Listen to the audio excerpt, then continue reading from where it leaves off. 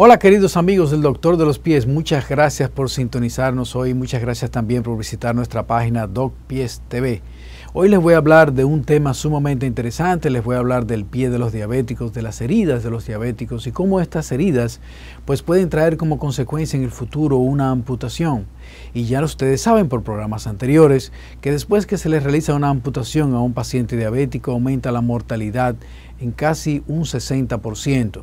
Es decir, una persona diabética que usted le realiza una amputación, en los próximos 5 años tiene un 50 o un 60% de probabilidades de morir. Y esto ha hecho, ha traído como consecuencia que nosotros los médicos ahora cambiáramos nuestra idea de que en vez de salvar una vida amputando un pie, es mejor salvar una vida preservando el miembro, preservando el pie en los años 40, en los años 50, pues cuando un paciente diabético llegaba a la consulta de un médico con una infección en el pie, la única solución que existía era cortar el pie. Hoy en día nosotros tenemos otra visión y solamente pensamos cuando vemos una infección en un pie de un paciente diabético en que tenemos que salvar ese pie para preservar la vida de esa persona. Y después de dos años del doctor de los pies estar hablando sobre esta situación, hoy pues finalmente se han despertado pues el interés no solamente en los médicos y las instituciones privadas y en los pacientes, sino también el Ministerio de Salud Pública pues está pensando ya en que debemos parar las amputaciones en la República Dominicana. Pero surge una nueva pregunta, surge una nueva inquietud. Ok, queremos salvar el pie, queremos salvar los miembros de los pacientes diabéticos, pero el problema es cómo lo vamos a hacer. ¿Qué vamos a hacer para disminuir las amputaciones en la República Dominicana? ¿Qué vamos a hacer para disminuir las amputaciones evitables de esos pacientes diabéticos? Existen tres factores muy importantes que nosotros tenemos que tomar en cuenta para nosotros prevenir una amputación. Número uno es la neuropatía periférica. La neuropatía periférica es producto de los niveles altos de azúcar en la sangre que producen un daño al sistema nervioso periférico, tanto el sistema nervioso sensitivo, motor y autónomo. Y esta neuropatía periférica pues es la responsable de un 78% de las amputaciones en los pacientes diabéticos. También existen los famosos microtraumas. Son microtraumatismos que se producen tanto en la piel como en el tejido blando y estos microtraumatismos pues son responsables de un 77% de esas amputaciones. Y finalmente nosotros pensamos en las famosas deformidades del pie del paciente diabético, los cambios biomecánicos en la pisada del paciente diabético que es responsable de un 63% de las amputaciones. Entonces, ¿cómo nosotros debemos actuar para disminuir este, esta, esta tragedia? Este, esta complicación de la diabetes? Pues atacando esos tres lugares. Si nosotros trabajamos fuerte en esos tres puntos, de esa manera nosotros podemos lograr que las amputaciones en la República Dominicana se vean disminuidas de una manera significativa. Pero yo tengo una crítica muy severa con el Ministerio de Salud Pública porque ellos han hecho una inversión con una inyección que han comprado en Cuba y se, han, se, han, puesto a hacer una propaganda, tanto en los periódicos como en la televisión, de que esa inyección va a disminuir las amputaciones en este país y yo reto a cualquiera a que me diga de qué manera esa inyección va a disminuir las amputaciones en nuestro país. Yo no creo que eso sea significativo, ese tipo de intervención, hacerla en el pie de los diabéticos no va a traer ningún cambio de esta tragedia que son las amputaciones. Al contrario, podría traer muchísimas complicaciones, podría traer más problemas que soluciones. Entonces ya veo el primer error que se comete tratando de, preservar el miembro del paciente diabético y ya el Ministerio de Salud Pública comete su primer error por falta de asesoría, por falta de educación, por falta de no sé qué, no sé qué otra cosa. Señores, en el próximo segmento les continuaré hablando de esta problemática y les presentaré también a nuestro invitado de hoy.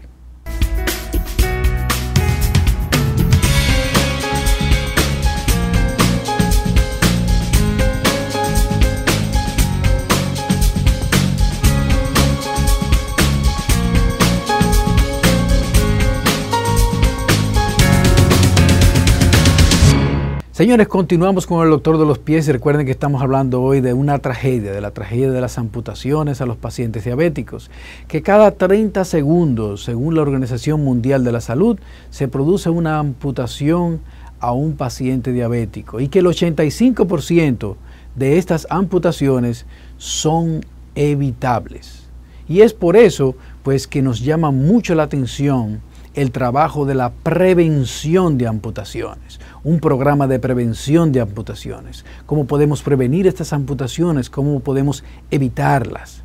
Entonces, el trabajo tiene que concentrarse en tres puntos específicos, en la neuropatía periférica, en los microtraumas y en las deformidades del pie. De esa manera vamos a eliminar un 62% de todas las amputaciones.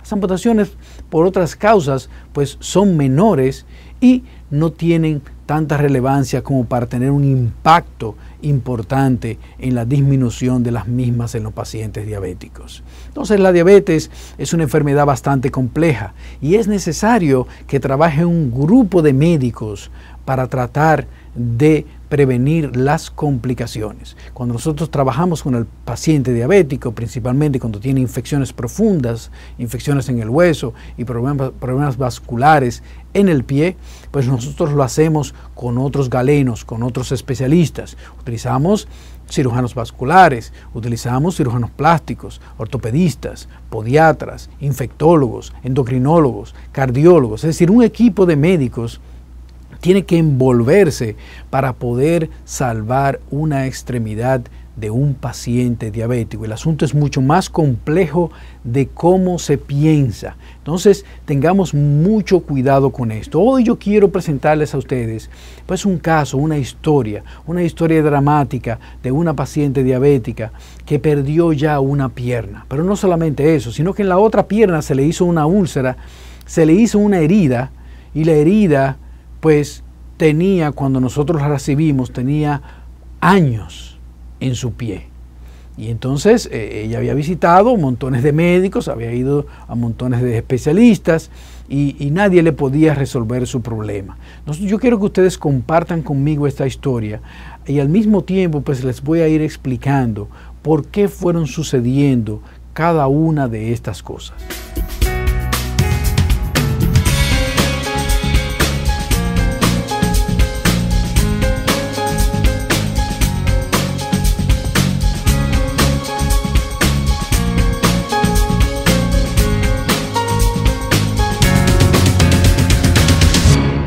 Señores, continuamos con el doctor de los pies y recuerden que hoy estamos hablando del pie de los diabéticos, estamos hablando de una complicación y una de las complicaciones de la diabetes muy frecuente es las heridas en los pies, los problemas de las extremidades inferiores y finalmente las amputaciones, que las amputaciones pues pueden terminar con la vida de un paciente y por eso nosotros los médicos hoy nos estamos concentrando en evitarlas.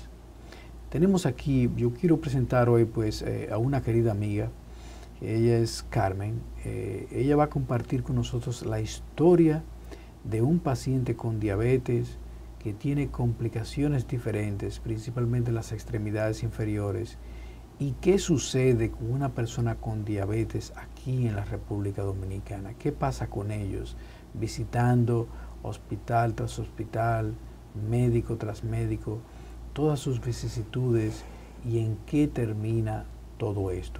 Carmen, muchas gracias por estar aquí con el doctor de los pies. La verdad es, que me siento muy orgulloso de presentarte en mi programa.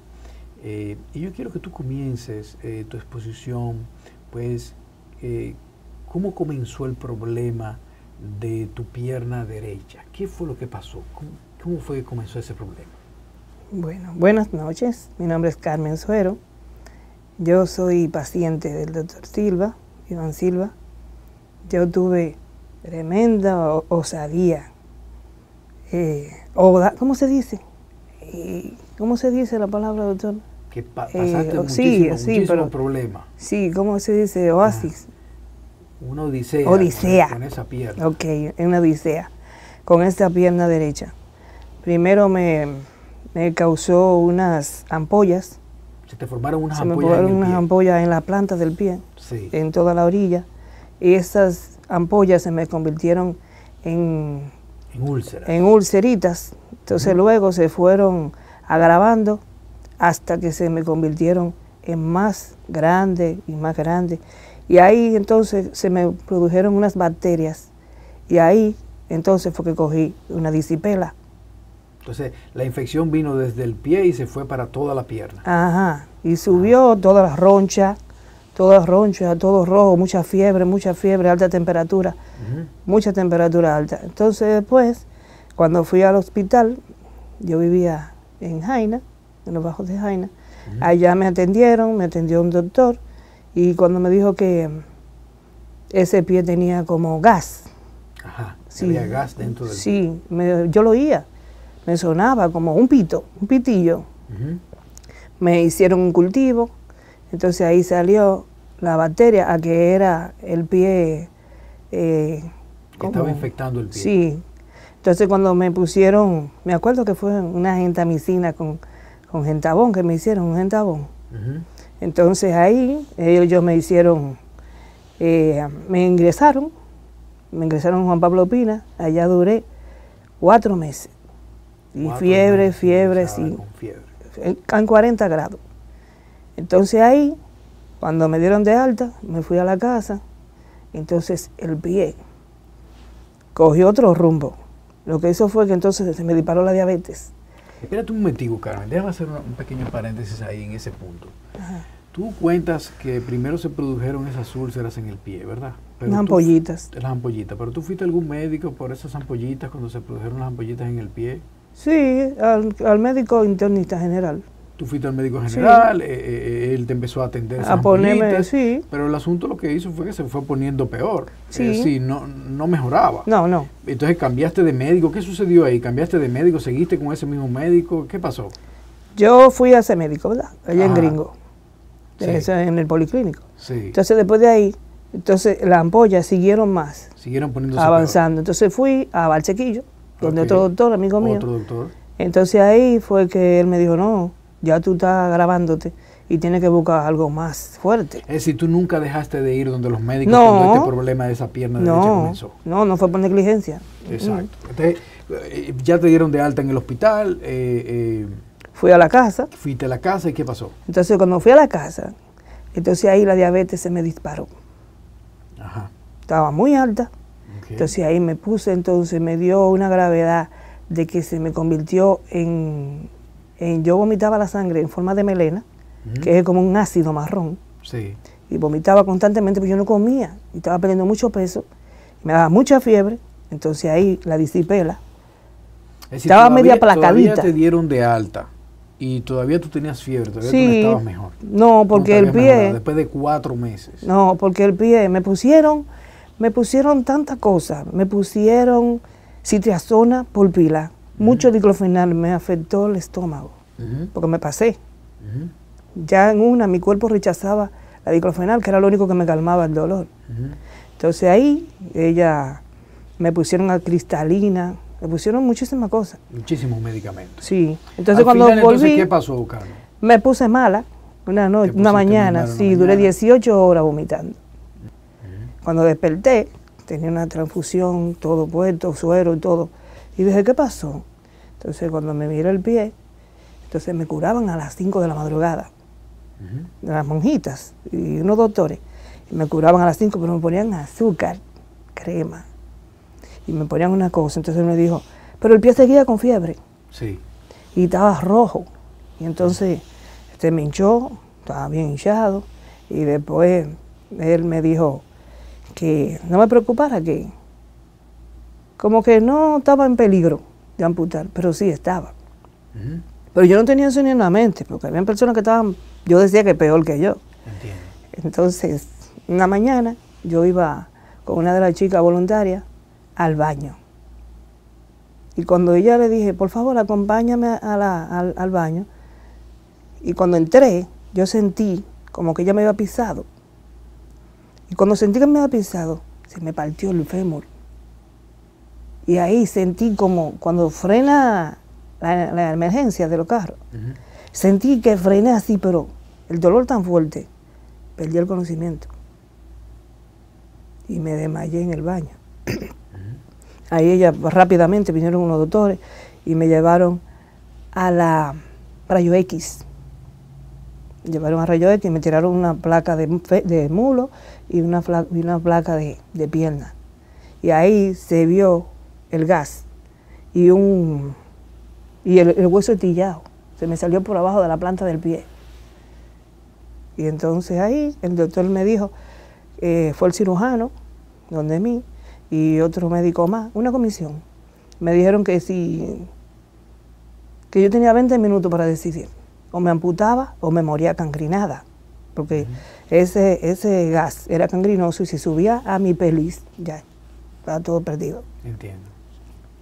Yo dije, no, no, está bien, yo voy a filmar mi amputación porque yo me pongo 20 prótesis, pero mi vida es una sola y nadie me va a reemplazar. Claro que sí. Me dijo, pues ok. Pero era un poquitico que me iban a cortar, me iban a amputar. Era como por aquí. Entonces, cuando prepararon el quirófano y todo, había un señor que estaban operando, tuve que esperar que terminara la cirugía. Cuando terminó la cirugía, subió a la rodilla. Entonces me amputaron aquí, porque me pusieron eh, el cosa aquí, en la marca, pero tuvieron que subir porque me tiraron otra placa antes de subirme al quirófano. Y ahí me la amputaron. Amputaron esa pierna. Entonces, ¿qué pasó con el otro pie? El otro pie, eh, cuando nosotros nos conocimos, pues eh, tú tenías una herida en el pie ya que, el pie que te, que te quedaba. Eh, y me dijiste que esa herida, pues ya tú, habías visitado muchos médicos, ah, tenías, mucho tiempo con esa herida y que todavía no se podía, nadie, nadie había podido curártela. ¿Qué fue lo que pasó? Para, Esa fue la otra odisea, porque yo he tenido seis lesiones severas de la diabetes. Seis. Este fue una quemadura una ampollita me salió como en ese dedo del pie. Y yo me puse un zapato con el pie húmedo, rápido, que iba a salir corriendo a hacer una diligencia. Y cuando me entré el pie, como que sentí que me tenía como, como, que, me rebalaba. ¿No te dolía? No, no me dolía ni nada. Pero a ratos, a ratos después, entonces sí sentí que se me estaba inflamando el dedo en el pie. Y yo cogí una servilleta y me sequé. Y volví entre el pie. Pero ese fue mi error, porque ya había la bacteria. Bueno, entonces nada, llego a la casa y cuando llego, digo, oye, vengo acá, tengo el pie pesado. ¿Qué pasó? Entonces digo, dame ir a la farmacia. Tremendo error. Cogí para la farmacia. En la farmacia me dieron un alucal. Ponte el agua bien caliente y échale ese sobrecito y entre el pie. Y entonces cuando hice eso, lo que hice fue que me quemé el pie. Digo que me lo quemé porque se me puso. porque tú no tenías sensibilidad, tú no sabías qué tan caliente estaba el agua y lógicamente te quemaste, te quemaste el pie. Entonces cuando me entré el pie, que veo que sale, eh, que está más grueso, digo, vamos acá, ¿y qué pasó? Bueno, está bien, pasé la noche. Entonces en la noche empezó ese pie a hacerme así. Y a martillarme, a martillarme. Entonces fui a, a Barciquillo de nuevo. Cuando llegué allá me dijeron, chequeen cuánto está tu diabetes. La diabetes estaba en 290. Me dijo, no, esa azúcar está muy alta, ese pie, por eso está malo así, que sí o qué. ¿Sabes lo que hicieron? Dios mío. Me agarró el doctor Nina y me hizo, él es cirujano, pero él es cirujano general. Y me abrió, me abrió aquí. ¿Puedo enseñar? No, no, está bien. ok, me abrió, me abrió el pie y me sacó todo lo que tenía de infección y me dijo, tienes que venir a curarte todos los días. Yo venía de Jaina a San Cristóbal todos los días a curarme. Uy, cuánta cosa. Y el pie me puse de todo. Y el pie estaba malo, malo, malo, malo, malo. Y fue cuatro meses más interna. Allá me pusieron muchísimo antibióticos, muchísimos medicamentos. Entonces salí pero con la úlcera abierta. Y duré seis años con esa úlcera abierta. Seis años con la úlcera abierta. Cuando tú me conociste, tú tenías seis años con esa úlcera en ese pie. Después, una mañana, estoy oyendo la seta. Pero nunca dejaste de visitar médico, ¿verdad? No, nunca. Siempre visitaste médico, siempre trataron de cerrarte esa úlcera, trataron de curarte. Es decir, tú nunca te descuidaste. No. Es decir, es un sistema de salud que no le responde a los pacientes diabéticos, no les responde. Es decir, si usted es diabético y usted tiene una herida en su pie, el sistema de salud a usted no le responde. Y al final, lo que le va a proporcionar a usted el sistema de salud es que le amputen o le corten una pierna. Fíjese usted, como esta señora, cuatro años, Carmen, seis años, Carmen, con una herida en un pie por una quemadura y nadie se la podía curar. El sistema de salud no funciona, es un sistema de salud mostrenco, es un sistema de salud que no está fallido, tal y como tú dices, Carmen. Eh, Carmen se llena de frustración, llena de frustración, llena de indignación. Eh, eh, ¿Qué fue lo que sucedió después, Carmen? Ah, que una mañana yo estaba oyendo en la Z que había una, un operativo médico en la Romana y fue en julio pasado del otro año, del 2012. Y entonces yo dije, oh, pero yo siempre decía, yo quiero ir donde Iván Silva. Le decía a mi familia, yo quiero ir donde el podiatra, porque siempre yo oía que eh, lo de César es de César, lo de Juan es de Juan. Y yo decía, oye, yo quiero ir donde un especialista que sepa lo que va a hacer con mi úlcera. Entonces, cuando yo oí que existía un doctor de los pies, un podiatra y un, eh, eh, ¿cómo se dice la otra? Cirujano podiatra, un especialista en las heridas. En podología, el podólogo. Ok. Entonces, cuando yo oí eso, yo dije, bueno, pues si él es el doctor de los pies, él va a tener que ver qué va a hacer conmigo. Yo me puse ese reto. Entonces así yo dije, bueno, déjame coger la dirección de la clínica Las Canelas, de la Romana. Entonces vi la promoción en la televisión suya y lo oí en la Z, 101, y cogí para allá. Yo fui la 578 Llegué tempranito, a las 5 de la mañana, y eso estaba full de gente, y fueron muchísimas personas. Y entonces ahí usted llevó un operativo médico de unas personas americanas, y ellos hicieron evaluaciones, atendieron muchas personas. Sí. Entonces ahí lo conocí a usted, y cuando yo lo vi, yo dije, ¡ay, doctor, qué bueno! Ya lo conocí, y entonces ahí yo le dije que yo quería que usted me viera. Y me quité el, el el vendaje que tenía y le mostré mi pie. Entonces inmediatamente me dijo, ah, pues ven por mi consultorio que yo te voy a esperar. Y así mismo lo hice.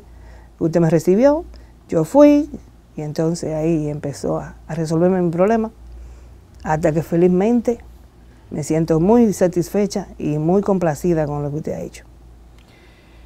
Fíjense, esta es una historia, pero esta, esta no es una historia solamente de Carmen. Esta es una historia que viene transcurriendo día tras día, una persona tras la otra. Está la historia de Martín, está la historia de Juana, está la historia de Pedro, está la historia en un sistema que no puede responder, que no sabe cómo responder a una problemática como esta.